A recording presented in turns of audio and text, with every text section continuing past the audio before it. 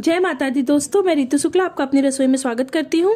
आज मैं आपके लिए बहुत ही आसान तरीके से और बहुत ही टेस्टी मैगी की रेसिपी लेकर आई हूँ, जिसमें मैं ये प्याज, आलू और मटर डालूँगी। और आप देखिए कितना टेस्टी बनता है और बहुत छोटा सा वीडियो है दोस्तों, इसलिए पूरा देखिएगा। ये मैंने कढ़ाई में सरसों का तेल डाला है। आप अपने पसंद के किसी भी तेल में बना सकते हैं। ये मैंने एक हरी मिर्च डाली है। आप अपने अनुसार तीखा रखिएगा इसे। ये मैंने आलू, प्याज और मटर को एक साथ इसमें डाल दिया है। आप आलू डाल के बनाइएगा दोस्तों, बहुत टेस्टी लगते हैं। और वीडियो में लास्ट तक बने रहिएगा और देखिएगा किस तरीके से बनकर तैयार होते हैं। ये हम इसे ढककर हल्का पकाएँगे।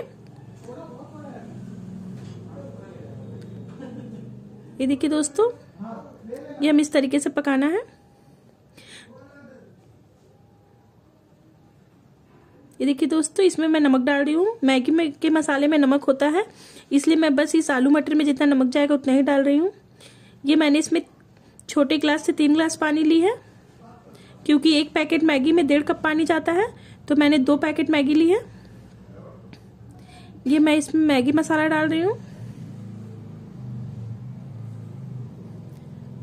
ये देखिए दोस्तों, अब हम इसमें मैगी डाल देंगे और हम इसे अच्छी तरीके से पकाएँगे।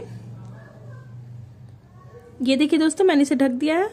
दोस्तों, अगर आप हमारे चैनल पर नए आए तो प्लीज़ चैनल को सब्सक्राइब कर दीजिएगा, लाइक कीजिएगा, कमेंट करके बताइएगा हमारी रेसिपी आपको कैसी लगती है। ये मैंने इसमें आधी चम्मच हल्दी डाली है और मैं इसमें थोड़ा सा बटर डाल रही हूँ। ये देखिए दोस्तों, ये मैगी बनकर तैयार है तो आइए सर्व करते हैं। बहुत ही टेस्टी बनी थी और बहुत ही झटपट बन गई थी।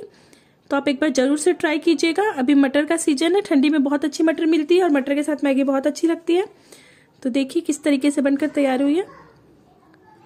दोस्तों, हमारे पूरे वीडियो को देखने के लिए धन्यवाद। आगे किसी और अच्छी सी रेसिपी के साथ आपसे मिलेंगे। तब तक के लिए आप इसी तरीके से मैगी बनाइए और ठंड में गरम गरम खाइए। मेरा बच्चा मुझे बहुत परेशान कर रहा है तो मैं उसे मैगी देती हूँ। जय माता दी दोस्तों।